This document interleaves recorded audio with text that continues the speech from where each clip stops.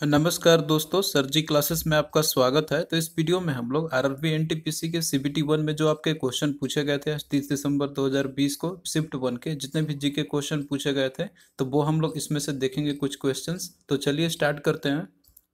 तो देखिए, जो क्वेश्चन आपके आज पूछे गए थे फ़र्स्ट सीट में तो ये आपके सारे वही रियल क्वेश्चन आपके हैं। तो क्वेश्चन आपका था कि which rail cum road bridge connect the Assam and Arunachal Pradesh कि कौन सा रेल कम रोड ब्रिज जो है, जो कि असम और अरुणाचल प्रदेश को कनेक्ट करती है? तो इसका देखिए राइट आंसर आपका हो जाए that is Bogibeel bridge है।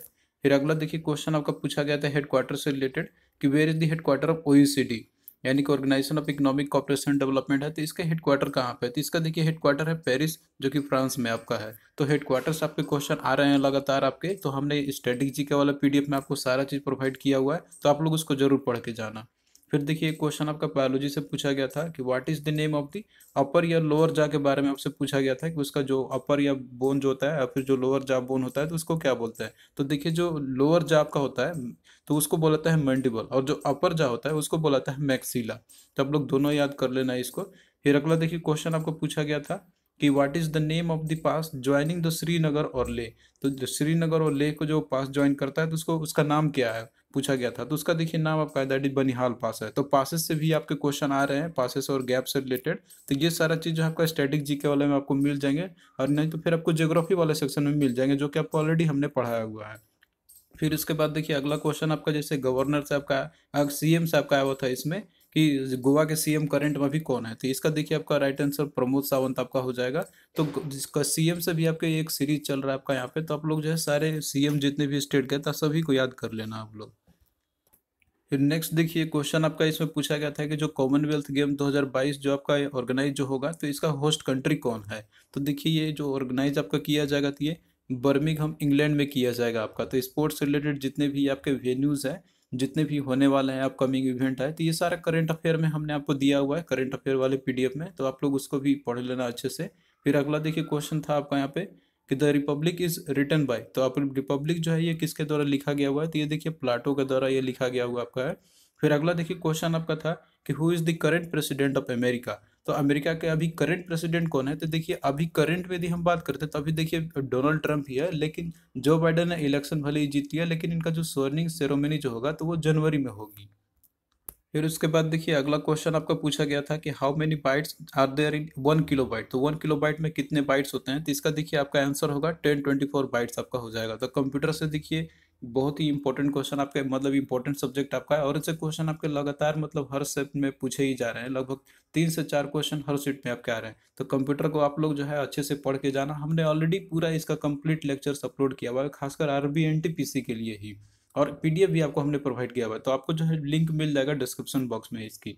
फिर उसके बाद देखिए क्वेश्चन अगला आपका पूछा गया था कि who is the present finance commission और चेयरमैन ऑफ़ इंडिया यानी कि जो प्रेजेंट जो अभी फाइनेंस कमीशन जो चल रहा है तो इसका चेयरमैन प्रेजेंट में अभी कौन है? तो इसका देखिए अभी जो चल रहा है आपका that is fifteen finance commission है। तो इसका चेयरमैन है एन के सिंह फिर उसके बाद देखिए अगला आपका है कि which was the twenty ninth state of India तो देखिए, जब जम्मू कश्मीर को मतलब जब ये यूनियन टेरिटरी बनाने से पहले, उस समय का अगर ये था मतलब ट्वेंटी नाइन्थ स्टेट जो था तो वो तेलंगाना था, लेकिन अब ये ट्वेंटी एथ स्टेट आपका ये हो चुका है सिंस जम्मू कश्मीर को अब यूनियन टेरिटरी बना दी गई है तो।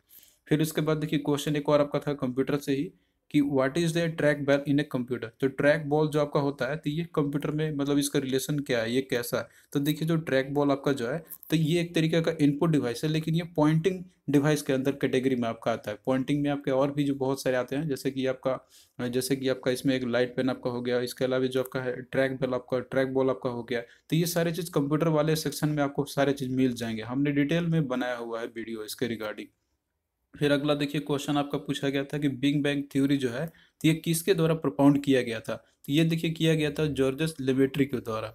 फिर अगला देखिए क्वेश्चन आपका था कि what was the other name of Mahavira तो महावीरा के जो, इनके अदर नेम क्या थे? तो इसका देखिए आपका आंसर होगा वर्धमान और केवल्य। फिर देखिए क्वेश्चन आपका पूछा गया था कैपिटल से आपको पूछा गया था इसमें कि what is the economic capital of South Africa तो इकोनॉमिक कैपिटल पूछा गया था साउथ अफ्रीका का तो देखिए, इसके कैपिटल बहुत सारे हैं, जैसे एग्जीक्यूटिव कैपिटल की बात करते हैं, इसका प्रिटोरिया और जुडिशल अब जुडिशल जो कैपिटल इसका लेजिस्लेटिव जो कैपिटल है तो वह केप टाउन है, बाकी एक और कैपिटल आपका होता है तो उसको आप लोग देख लेना।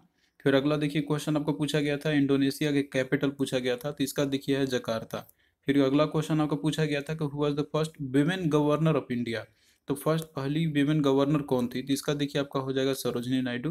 फिर अगला क्वेश्चन आपका बायोलॉजी से था कि विटामिन सी जो है आपका इसको अदर नेम से क्या बोला था? इसका जैसे बोलते हैं हम लोग एस्कॉर्बिक एसिड बोलते हैं केमिकल नेम है। और अगला क्वेश्चन आपका पूछा गया था कि who is the CEO of Dream Eleven तो ड्रीम इलेवन के सीईओ कौन है? तो अभी देखिए इसके जो सीईओ है तो वो है हर्ष जैन तो सीईओ से भी रिलेटेड आपको क्वेश्चन पूछा जा रहा है तो हमने करंट अफेयर वाले में आपको ये सारा चीज़ प्रोवाइड किया हुआ है।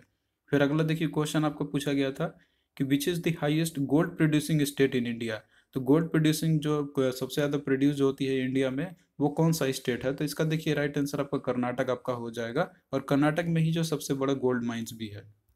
तो देखिए, यहाँ पे अगर हम ओवरव्यू करते हैं पूरे शिफ्ट का, जिसमें कि क्वेश्चन आपके पूछे गए थे तो हिस्ट्री से इसमें आज आपके काफ़ी ज़्यादा क्वेश्चन थे। लगभग पाँच से छः क्वेश्चन आपके पूछे गए थे।